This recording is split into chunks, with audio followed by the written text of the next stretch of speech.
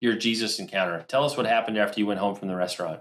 I went home from the restaurant. She said, uh, You're not going to go with me to the grocery store. I said, Get me home. And she took me home. I ran into the house. Her and the little, our toddler went on to the uh, grocery store. I ran into the house. I ran into my den. I fell down face first in the carpet, just screaming and crying. Oh God, I'm, I'm, I am crazy. I am literally crazy. I'll never be able to go out of my house again. I can't even go out to a restaurant and eat. Oh God, you've got to come and help me. At that moment, Sean, I never felt so hopeless and helpless in my life. For days preceding that, I, I knew I was in trouble and I thought, I'll get over this. I'll get over this. I can get myself out of this mess. But that day was a reality. I can't get out of this.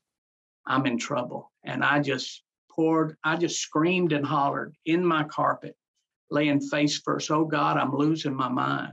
I am losing my mind. You've got to come and help me. Oh God, I'm going crazy. I'm going to go to a mental hospital. They'll come get me. I'll never see my little boy again. And uh, it was in the midst of that crying that I sensed a presence in the room. And I, I thought, I looked up. I was laying face first on the floor, and I looked up. And when I did, I saw feet and sandals in front of me. And I thought my neighbor saw me run in because we had neighbors that were good friends across the street. They saw me run in. So I didn't want to be on the floor with him there. And I lifted up on my hands and knees. And when I did up, uh, lifted up and lifted my head, I looked into the face of the Lord Jesus. And he was standing in my den. And it was just like a human standing there. And and I'm I'm young in the ministry. I know nothing about visions. I knew nothing about the spirit world. I'm young. I didn't grow up in that side of the church world. And and uh, and I never will forget what he said to me. He said, Eddie, what would you have me do and uh, I immediately looked to my left to think, I've died. I have died. I've, I've ended my life because the thoughts were coming, Sean, just in your life. This is no way to live. You're never going to get any better just in your life. So I thought, I've ended my life. I'm in heaven. But I, I looked to my left. I remember looking to my left, and it was my couch, my old couch that we'd bought at Discount Furniture. And first thing that popped in my mind is, I know heaven's got better couches than this. This can't be heaven. And then it dawned on me, this was a true vision, and the Lord had was there. And uh, he said, Eddie, what would you have me do for you? And I just simply said, I, you know, people have said, why didn't you ask him a bunch of things? Well, when you're in the middle of the war, all you think about is the enemy shooting at you. And I just said, Lord Jesus, these thoughts are killing me. And uh, when I said that, his response was, Eddie, I told you thoughts were as vapors, they have no power. And I remembered then a couple of months earlier, one day crying out in prayer. And I kept hearing on the inside this word vapors, vapors. And I didn't know what it was. I didn't know how the Lord spoke. I was young. And I kicked it out thinking, that's crazy. That's another one of them crazy thoughts. I am losing my mind, vapors. But the Lord said to me, I told you, thoughts are as vapors and they have no power. And when He said that, He reached down to the side of my head, and I could feel the pressure up against the side of my head. And he pulled out what looked to be a banner that you would put across a road announcing a carnival or some kind of big event.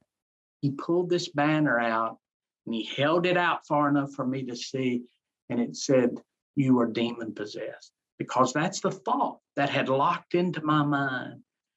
And he blew it and it disappeared like a vapor.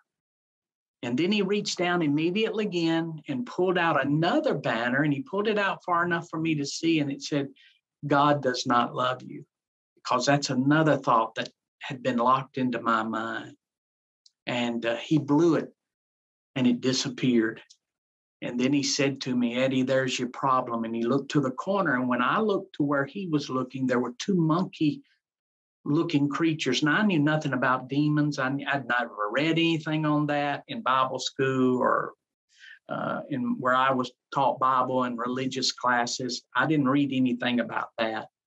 But I, once you, what I realize now, once you get in the realm of the spirit, you know things that you normally don't know. Remember what John said on the Isle of Patmos? I was in the spirit on the Lord's day, and he saw revelations that he didn't had never seen before, and he knew things he he hadn't been taught. So I just knew at that moment when I looked over that, that those two imp monkey-looking creatures were demons. I don't know how tall they were because they were huddled in the corner. They wasn't very tall, but every time Jesus would look at them, they would shrivel in fear, and I could see their hair shaking on their bodies. And what was amazing to me is I was in the presence of devils, but I wasn't fearful at all. For the first time in three months, the fear, the torment, the paranoia was not on me. I was at total peace. It was the devils that were fearful. And every time that Jesus looked at them, they would shriek in fear and hide in the corner and wouldn't even look at him face to face. And the Lord Jesus said to me, Eddie, there's your problem. And uh, and looked back at me and smiled so sweetly. And uh, he was gone. And uh, and I, I'm asked all the time, well, I guess you never had a thought problem after that. No, they didn't leave. The thoughts were still there. People say, well, didn't he didn't he do something about it? No, he didn't say that. He said, Eddie, there's your problem. He didn't say that's my problem. He didn't cast them out. He didn't even speak to them. He just looked at me and said, Eddie, there's your problem. And it was from that moment that I began realizing from the Word of God that it's our responsibility as believers to take authority over the enemy. Jesus has already done everything he's going to do about the devil. He defeated him on the cross. Uh, he's taken care of the sin problem. It's our job now to use the authority that he's given us. And over the next uh, 12 to 18 months, it was a process of me learning how to use my authority and take back control of my thought life.